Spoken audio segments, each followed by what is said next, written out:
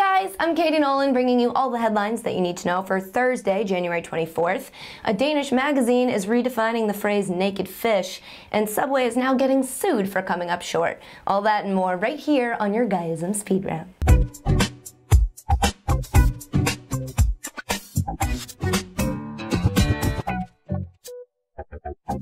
You knew it was probably coming. Two men from New Jersey are actually suing Subway over the fact that they call their foot-long subs footlongs when they aren't actually a foot long. They're seeking compensatory damages and a change in practices.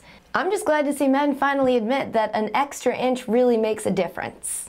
The guy who used to be the voice of Charlie Brown back when he was nine years old has been arrested for stalking and making death threats now that he is 56. This would never have happened if therapy was still affordable. Scotland launched a new tourism campaign and it features Shetland ponies in cardigan sweaters. Oh, they look so adorable. I just want to squeeze them. But, I mean, in reality, you know you don't have to go to Scotland to see horses dabbling in fashion. Danish fishing magazine Fisk and Fri ran a Fish Girl feature that contained photos of naked girls doing things that you like to see naked girls do, except with fish. I'm really weirded out. I'm sorry. I like boobs as much as the next guy, but if this is turning you on, like that's concerning. We should not be encouraging fish and vagina to have a relationship. But quick question, what do this girl and Manti Te'o have in common? They both got catfished. Speaking of good old Manti, his much anticipated interview with Katie Couric airs today. Saw a little preview of it yesterday, and I gotta say, smart outfit choice, because it's making me think of your girlfriend. Because you blend in with the couch and it's like you're not even there. Justin Bieber has finally surpassed Lady Gaga and he now has the most followers on Twitter. That makes sense that they're the most followed people. I would follow both of them just to see where they lead me to the men's room or the ladies' room.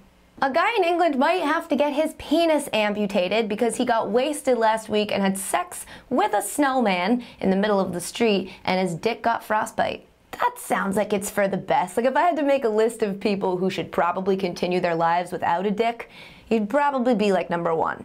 Possibly number two, just because there's a really strong case for this guy, since we really don't need him reproducing. A new study published in the Journal of Sexual Medicine has concluded from a survey that condoms don't make sex less enjoyable. Full disclosure, they only surveyed that guy who fucked Frosty. Secretary of Defense Leon Panetta is lifting the ban on women serving in combat roles. Say what you will, but this is a good thing. Because tell me the last time you saw a woman concede victory. I'll wait.